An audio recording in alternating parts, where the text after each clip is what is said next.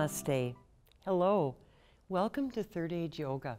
I'm Andy Gilats, and I'll be your teacher today. Yoga is an ageless wellness practice that can be done by almost anyone, no matter your age, no matter your physical challenges. If you have done yoga in the past, maybe years ago, or if you have never done yoga before, Third Age Yoga is an opportunity to safely try yoga out and see how it feels.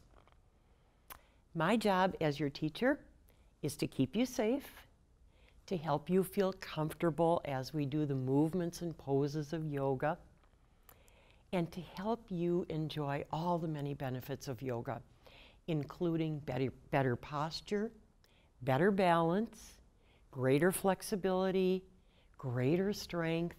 These things are so important to keeping us independent and mobile as we grow older.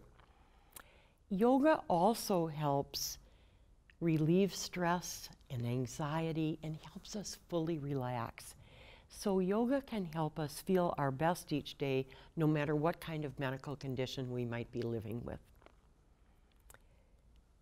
Yoga is, third age yoga is a journey through your comfort zone. So, it should never hurt. You should never feel discomfort. But what I hope you will feel are some healthy stretches and strengthening movements that you know you can tell when you're doing them. They feel like they're good for you, but they feel good when you do them at the same time. Okay, yoga is meant to be done barefoot. So if you are able, I'm going to invite you now to take your shoes and socks off before we begin. Let's get our feet into the act here. Um, what do you need? Well, I'm going to ask you to get a chair without arms. So just a folding chair, kitchen chair, a dining room chair, and a sticky yoga mat. So why do we want a sticky yoga mat? So that our feet and hands stick to it and we feel stable and grounded on the mat. Yoga mats are available around town for about $10. If you don't have a mat or can't get a mat, please don't let that stop you. Just go ahead and for, for all of our standing poses and movements, stand on your carpet, your floor, wherever you are right now. And for everything else, just take a seat in your chair. The benefits are the same. Let us begin. And where do we start? By finding our tallest, healthiest posture. So I am going to invite you to bring your feet about hip width apart. What do I mean by that? We've got some big old hip bones right in here. Maybe you can feel them, maybe you can't. It does not matter. But if I took my hands and made a line down my legs, it would hit about the middle of my feet. So that's about hip width apart. When you're too wide, you're really not comfortable in a standing position. If you're too close, oh my goodness, I don't even know what to do with my knees here. So this is just about right. See how it feels. Outsides are parallel, so your toes should not be turned out and not, not a bow-legged kind of thing, but just straight ahead. And we are going to stack our knees on top of our ankles. So not like this, but like this. And now I'm going to invite you to see what it feels like to put your whole foot in contact with the ground. So let's come to the outsides of our feet like so. That feels good, doesn't it? And gently bring the insides of our feet to the ground. Here's something fun. Let's lift our toes off the ground and then one by one bring them down to the ground. And can you feel your whole foot on the ground? Let's grow long through our thighs and bringing the top, very top of your thighs just slightly back. You notice that gives you a little lift in the bottom of your belly, makes you a little taller, brings your spine into a good alignment. Getting long through your side body, lifting your chest and bringing the top of your breastbone back just a little bit. This is our breastbone. So bringing, it's kind of a rectangle. Bring the very top of it back a little bit as you bring the bottoms of your shoulder blades in toward the front of your body. It's a very gentle movement. Let me show you from the side so you can see. Just like so. And guess what happens when you do that small movement? Your shoulders come back, they stack over your hips, your chest opens up, you can breathe. When your shoulders are forward and you're slumped like this, guess what? Your chest is compressed and your lungs can't get as much air. But when you have a tall, healthy mountain posture, you can breathe better. Let's stack our ears over our shoulders and look straight out at the world. Life is so much more interesting when you're looking out at the world. Nothing is happening down there. So, looking out. Starting with our tallest, healthiest posture, let's go ahead and stretch out our joints in our neck a little bit, okay? So, go ahead, take a look over your right shoulder and back to center.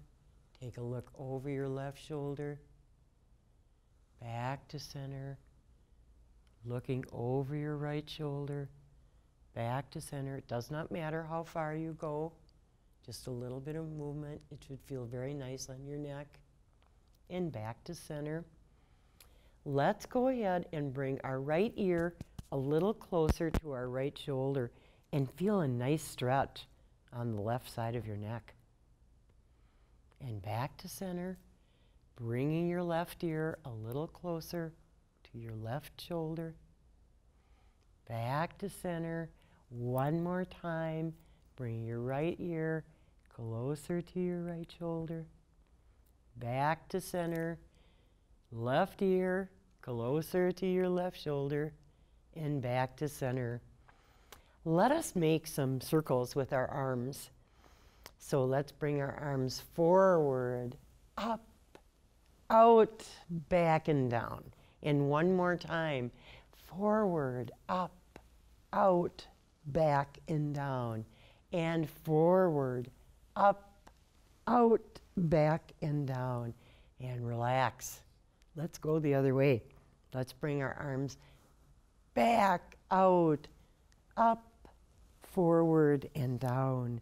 And back, out, up, forward and down. One more time. Back, out, up, forward and down. Let's bring our arms overhead, touching your palms together, and now bringing your arms straight out at shoulder level, palms facing forward. Let's give ourselves a hug with our right arm on top. Feel a nice stretch in your back and open wide. Give yourself a hug with your left arm on top and opening wide. One more hug, right arm on top. You're worth it. Opening your arms wide. And finally, one more hug with your left arm on top. You deserve it. And arms wide. Let's bring our palms up, touch them together down through center. This is our namaste. Moving right along. Go ahead, putting your hands on your waist. And we're going to do what I call hula hoops. So just beginning to rotate your hips. It feels good. Just getting things loose. Few times one way, a few times the other. And now let's go ahead and take a seat. So, whether you are using a mat, a chair, let us all come to sit in the chair. And we're going to do something that is a very classic part of yoga. And it is called a cat cow spinal flow. And what that means is it's meant to open all of the joints in the bones that run from our neck all the way down to our tailbone. These 26 bones are called our vertebrae, and they, have, they all have joints. And all the joints in our bodies need to be lubricated with the fluids inside our bodies to stay healthy and to keep us moving. And the purpose of the yoga cat cow flow is to get our joints lubricated. It's fun and easy. So, first, our cat. So, as I breathe in, I'm going to bring my belly forward, lift my chest, and look up. As I breathe out, I'm going to arch my back and take a look at my belly button. That's my angry cat. I'm going to inhale, bringing my belly forward, lifting my chest, looking up. Cow. Breathing out, angry cat, arching my back, looking at my belly button. Let me show you from the side so you can see what it looks like. Inhaling, cow, belly forward, lifting chest. Exhaling, angry cat, arching my back. That is our cat cow flow. Let us do it together. Inhale, cow. Exhale, angry cat. Inhale, cow. Exhale, angry cat. One last time. Take a nice breath in. Inhale, cow. Exhale, breathe out, angry cat and relax. Let's stand up. Today we're going to do some forward bending. Forward bending in yoga is very important because it carries many benefits, and two of them are that if you forward bend with one leg in front of the other, and we will be doing that, you get a twofer. So you are stretching the backs of your legs in here and also stretching the front of your body where your legs meet your body. This is called our psoas, and it's a muscle that needs to be stretched because we sit a lot, don't we? And it's, this muscle is always being folded and creased. But in our forward bending today, you'll see that we'll get to stretch these. So we're going to do a little flow and we're going to start with our Yoga Warrior One. There are three warrior poses in yoga, and these are the very strong, bold poses. And they are called, guess what? Warrior One, Warrior Two, and Warrior Three. Today we will start with Warrior One, and we're going to flow that into a one sided stretch, and then we're going to repeat our Warrior One. So let us begin and of course, let's start in our tall, healthy mountain posture. I'm going to invite you to put your hands on your waist, feel nice and stable. And I hope that you are standing the long way on your mat, like so. But I want to be able to look at you, so I'm going to stand this way. So let us begin by bringing our left foot back. And notice that my left foot is out at a little bit of an angle. So I don't need to go too far back. You decide. If you feel like you're going to top over, come a little closer. It's not how far you go, it's how you feel. So here we are. Notice I'm nice and upright, looking straight ahead at you. Bending your right knee, stacking it over your right ankle.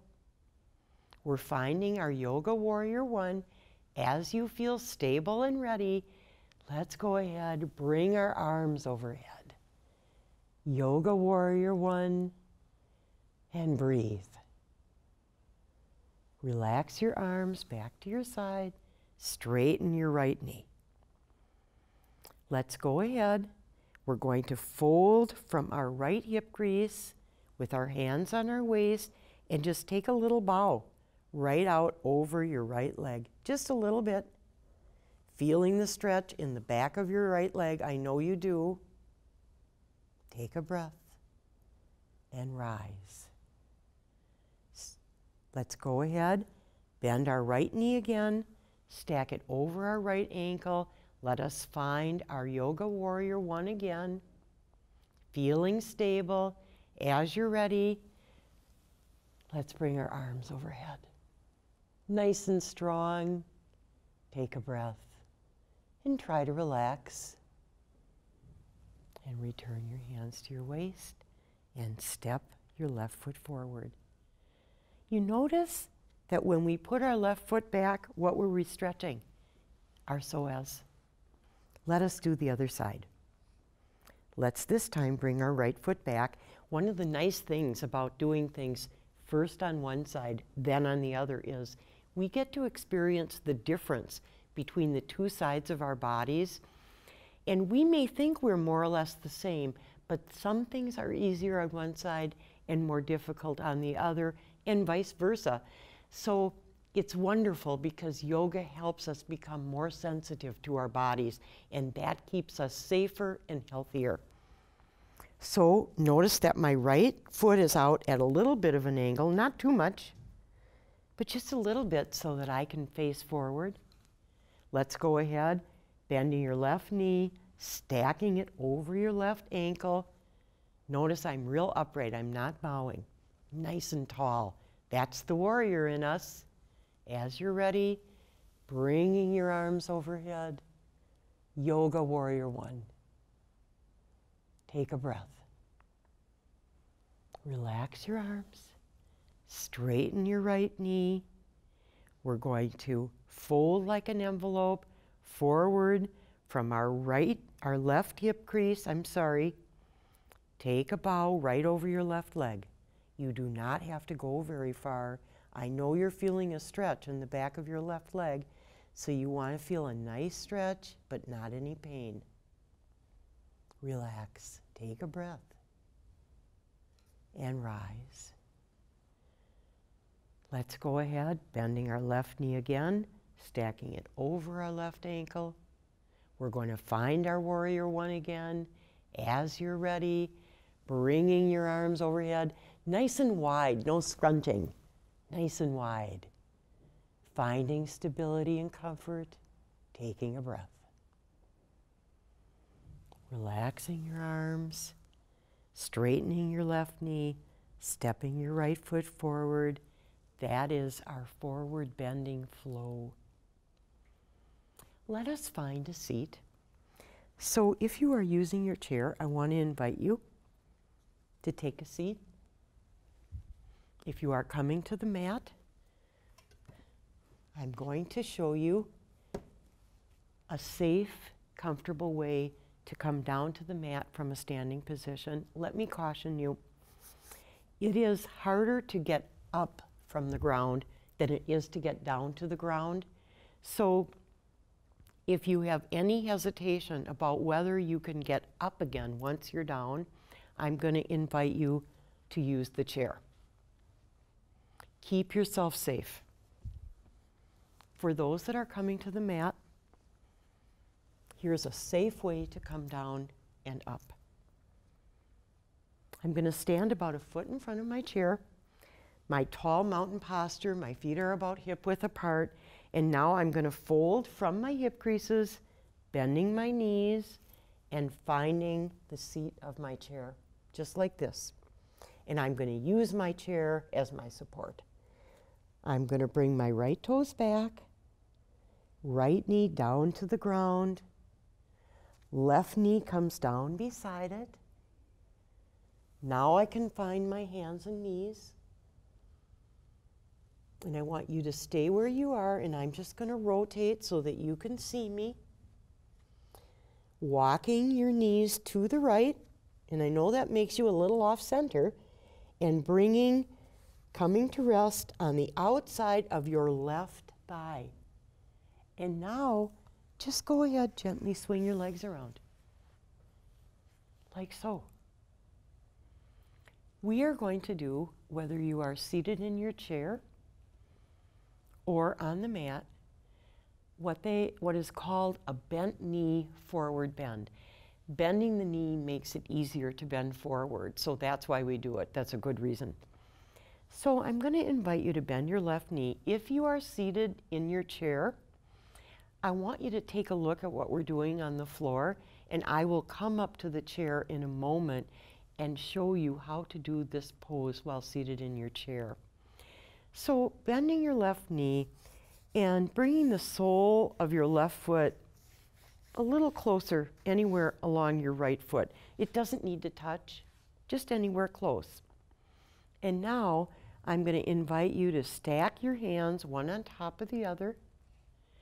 And just like we did when we stood up, folding forward from your right hip crease, just like this. And I'm going to rise again and take a look. Notice that I'm not going very far. It's quite a stretch on the back of your right leg, and I'm sure you're feeling it. So be kind to yourself. Don't go very far. Don't do this. Open and lift your chest. It's worth it to be a little more upright and be able to breathe. And coming back, straightening the left leg. Let's bend our right knee and go ahead and place the sole of your foot somewhere along the inside of your left leg. Nice and straight. Stacking your palms one on top of the other. And go ahead and just folding like an envelope from your left hip crease, like so. Such a small movement with such a big benefit. We often make the mistake of trying to do too much or go too far.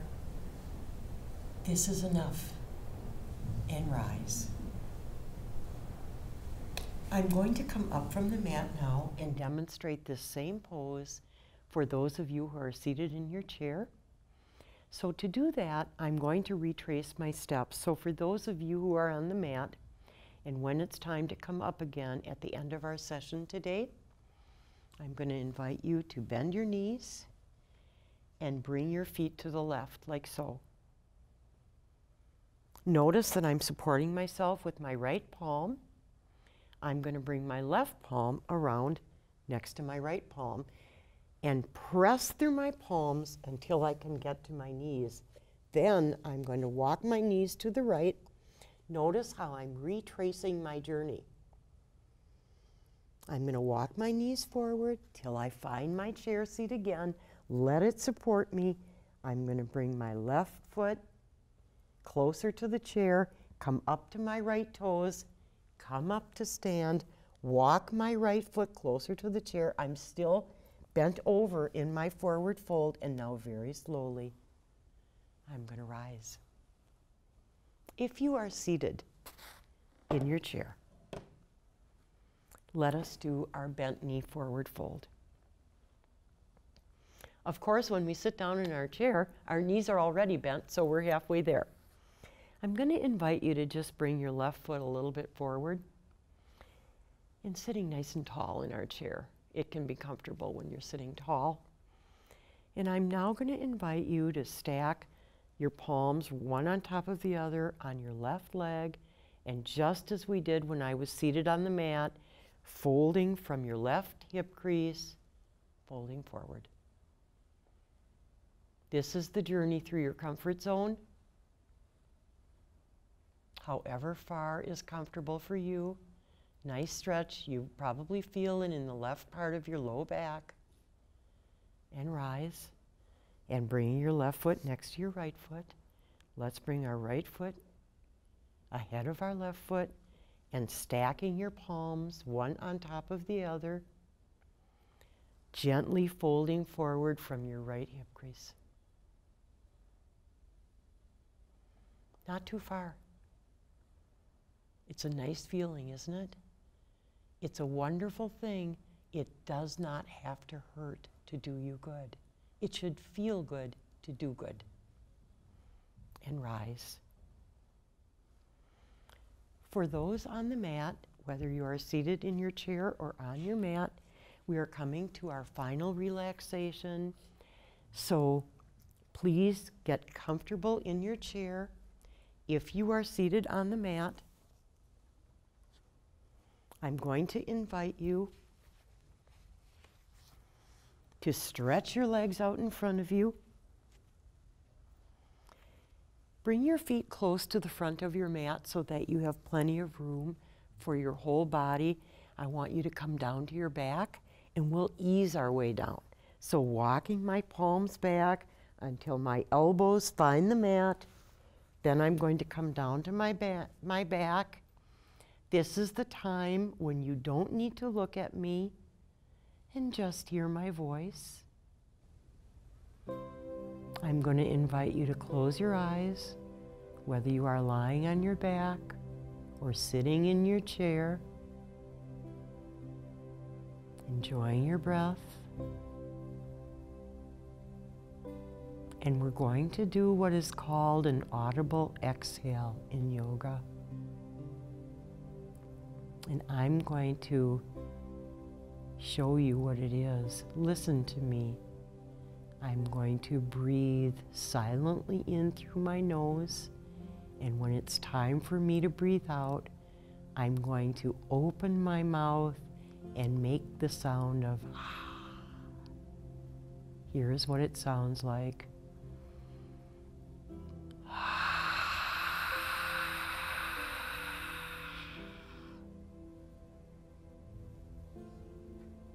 Let's do it together. Inhaling silently through your nose.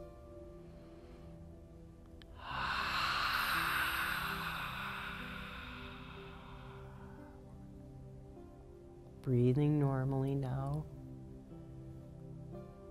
And go ahead and rest your hands on your belly, somewhere around your belly button. And as you breathe, enjoying the rise and fall of your belly. Just notice how your belly rises and falls as you breathe in and out. Enjoying complete relaxation for just a few seconds and then I will ring the bells.